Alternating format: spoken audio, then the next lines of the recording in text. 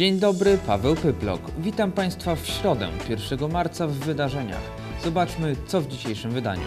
W klubie biznesowym Areny Zabrze odbyło się drugie śniadanie biznesowe.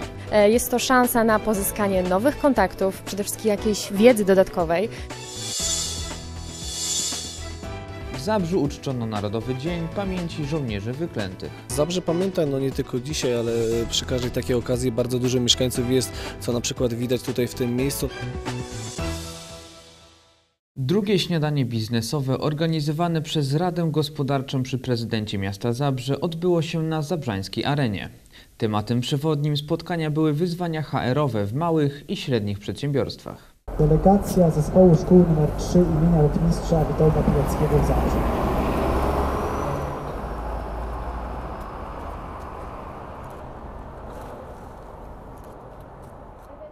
Zawsze pamiętamy o naszych e, bohaterach narodowych. E, Chciałam powiedzieć, że je- jeżeli chodzi o pułkownika Łukasza Cieplińskiego, to moi uczniowie, teraz absolwenci, odkryli tą sylwetkę, że mieszkał tutaj i jest zasłużony dla Polaków. Oprócz tego mamy rotmistrza Witolda Pileckiego, jednego z sześciu uznanych bohaterów w Europie i na świecie. My jako harcerze staramy się pielęgnować tradycje patriotyczne i w ten sposób też wychowujemy y, młodzież w poczuciu takiego patriotyzmu, miłości do ojczyzny i takie imprezy właśnie są bardzo ważne też dla nas, żeby być, żeby się pokazywać. Lecki, chwała Ci, cześć.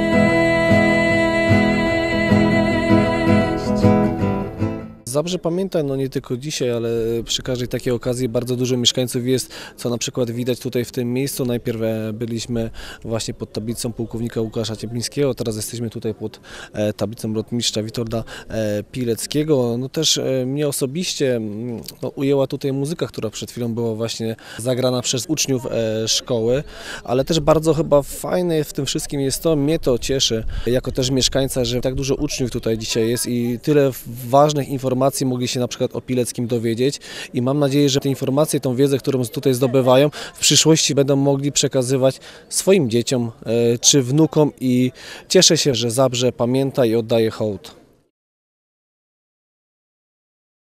W 2011 roku 1 marca ustanowiony został Narodowym Dniem Pamięci Żołnierzy Wyklętych. Dlatego, by uczcić ten dzień i oddać hołd żołnierzom niepodległościowego podziemia, złożono kwiaty przed pomnikiem rotmistrza Witolda Pileckiego i tablicą upamiętniającą pułkownika Łukasza Cieplińskiego. Delegacja zespołu szkół nr 3 imienia lotmistrza Witolda Pileckiego w Zabrzu.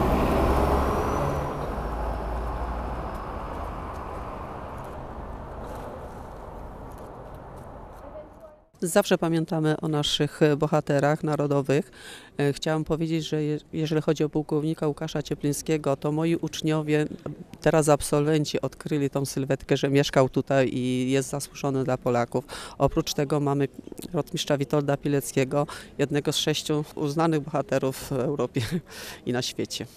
My jako harcerze staramy się pielęgnować tradycje patriotyczne i w ten sposób też wychowujemy y, młodzież w poczuciu takiego patriotyzmu, miłości do ojczyzny i takie imprezy właśnie są bardzo ważne też dla nas, żeby być, żeby się pokazywać. Lecki, chwała Ci, cześć.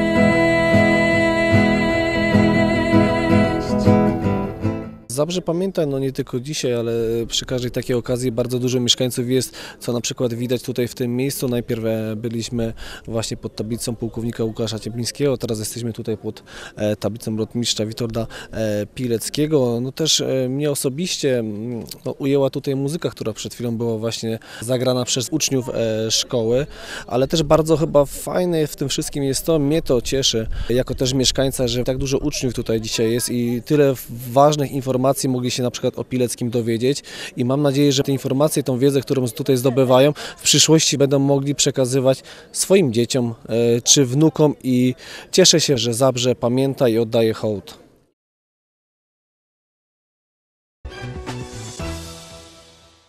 W dzisiejszym wydaniu to już wszystko, co dla Państwa przygotowaliśmy. Dziękuję za uwagę, życzę udanego popołudnia i do zobaczenia.